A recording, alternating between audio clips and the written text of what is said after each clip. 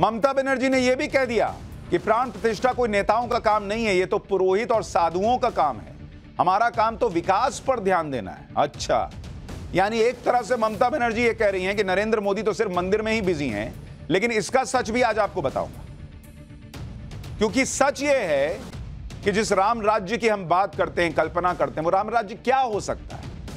आप कोई प्रभु राम थोड़ी हो सकता है, कोई प्रभु राम के जैसा काम थोड़ी कर सकता है। लेकिन प्रभु राम जिस तरह से, जो सबसे पिछड़ा तबका है, उसके लिए भी सोचते थे, सबको इकट्ठा करते थे, अगर वही कहीं भी हो जाए तो वही दरअसल राम राज्य है, जहाँ सबको सम्मान मिले, नारी को सम्मान मिले, पिछड़े समाज को सम्मान मिले, यही राम राज्य है, और क्या है? और यही काम नरेंद्र मोदी ने किया है, इसकी रिपोर्ट आई है। सच यह है कि विपक्ष नरेंद्र मोदी के खिलाफ जो भी माहौल बना ले, राहुल गांधी, ममता बनर्जी जो कह लें, लेकिन सच यह है कि नरेंद्र मोदी का ध्यान सिर्फ़ राम मंदिर निर्माण पर नहीं, बल्कि राष्ट्र निर्माण पर भी है। आज ही नीति आयोग की रिपोर्ट आई है, जिसमें बताया गया है, आप देखिए कि क्या काम हुआ है बॉस देश के अंदर। आप कहेंगे कि ये तो ज़बरदस्त चीज़ हो गई।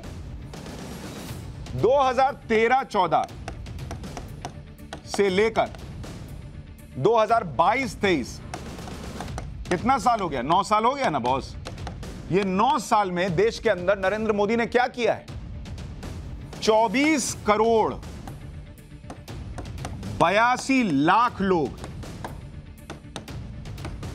ये क्या हुआ है इन 24 करोड़ बयासी लाख लोगों के साथ?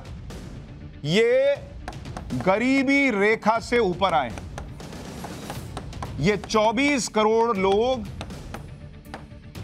बयास, चौबीस करोड़ बयासी लाख। मतलब अगर मोटे तौर पे पकड़िएगा तो करीब 25 करोड़ लोग इस देश में बीते 9 साल में गरीबी रेखा से ऊपर उठे और इसको अगर आप हर साल में तोड़िएगा तो हर साल करीब करीब दो करोड़ पचहत्तर लाख लोग गरीबी रेखा से बाहर निकले हर साल पौने तीन करोड़ लोग।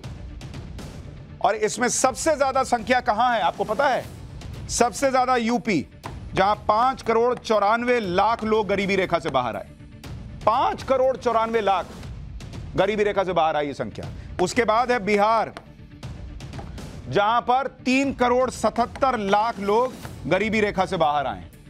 और उसके बाद है मध्य प्रदेश, जहाँ पर दो करोड़ तीस लाख लोग गरीबी रेखा से बाहर आए।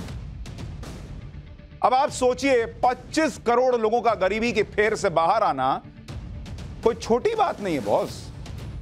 25 करोड़ तो कई देशों की जनसंख्या नहीं होती है।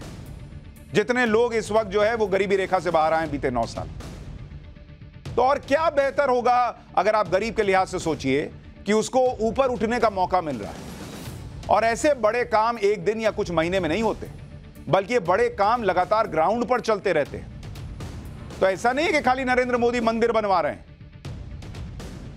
मंदिर तब बन जाए और प्रभु श्री राम की कृपा तो तभी ना बरसी जब ये 25 करोड़ लोग गरीबी रेखा से बाहर आए। वही तो असली जो है, राम राज्य की अगर कोई कल्पना हो सकती है तो यही ना है कि गरीब जो है वो उठे। गरीबी घटने पर नीति आयोग की नई रिपोर्ट के मुताबिक, भारत में मल्टी डायमेंशनल पोवर्टी 17.89 प्रतिशत तक कम हुई। साल 2013-14 में मल्टी डायमेंशनल पोवर्टी 29 परसेंट पे थी, जब नरेंद्र मोदी प्रधानमंत्री नहीं बने थे। 29 परसेंट पे थी अब ये 2022-23 में घट के 11.2 परसेंट पर आ गई। 17 परसेंट डाउन हुई है ये। अब आप सोच रहे होंगे कि भाई ये मल्टी डायमेंशनल पॉवर्टी होती क्या है? ये किस चिड़िया का नाम है? दरअसल ये गरीबी को मापने का एक तरीका है, जिसमें ये देखा जाता है कि किसी गरीब के पास हेल्थ, एजुकेशन और स्टैंडर्ड ऑफ़ लिविंग की कितनी सुविधा है।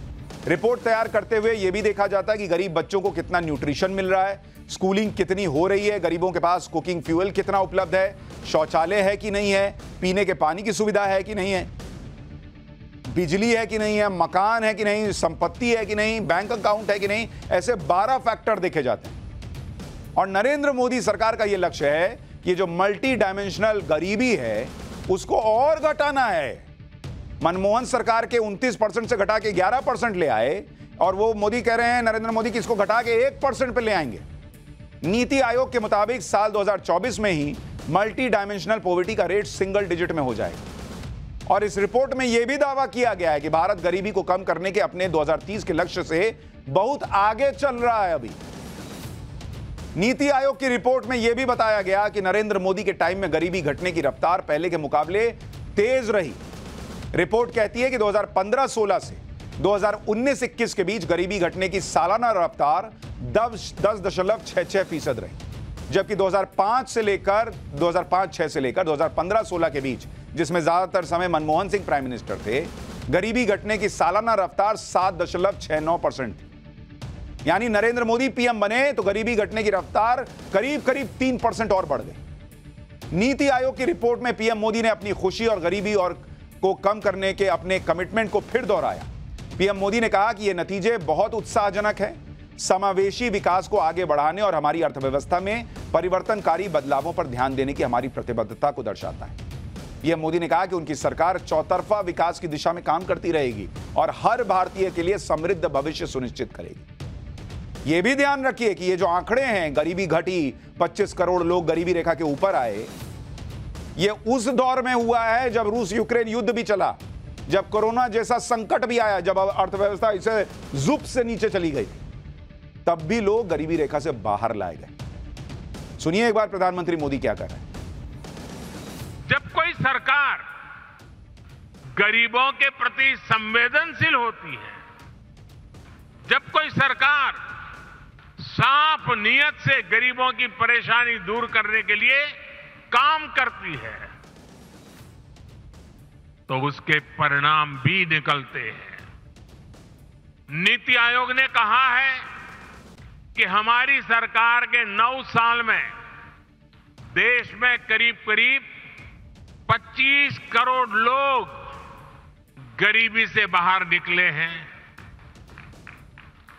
जिस देश में दशकों तक गरीबी हटाओ के नारे दिए जाते रहे, उस देश में सिर्फ़ नौ साल में करीब 25 करोड़ लोगों का गरीबी से बाहर निकलना ऐतिहासिक है। देश ही नहीं, बल्कि दुनिया में भारत की ग्रोथ स्टोरी का डंका बज रहा है। उधर प्रभुराम का काम हो रहा है, इधर भारत के लिए अच्छी खबर आई है। भारत को लेकर वर्ल्ड इकोनॉमिक फोरम के अध्यक्ष बोर्गे ब्रेंडे ने बड़ा दावा किया है। भारत आने वाले समय में 10 ट्रिलियन डॉलर की अर्थव्यवस्था बन सकता है यह वर्ल्ड बैंक कह रहा है। और यह सब अगले 10 से 20 साल के अंदर हो सकता है। मोदी सरकार भी यही कह रही है ना कि 2027-28 तक 5 ट्रिलियन डॉलर की अर्थव्यवस्था का लक्ष्य रखे हैं और 2047 तक हम 30 ट्रिलियन डॉलर की इकोनॉमी बन जाएँगे। इकोनॉमिक फोरम के अध्यक्ष बोर्गे ब्रेंडे ने कहा कि इस साल भारत की ग्रोथ रेट आठ परसेंट रहने का अनुमान है।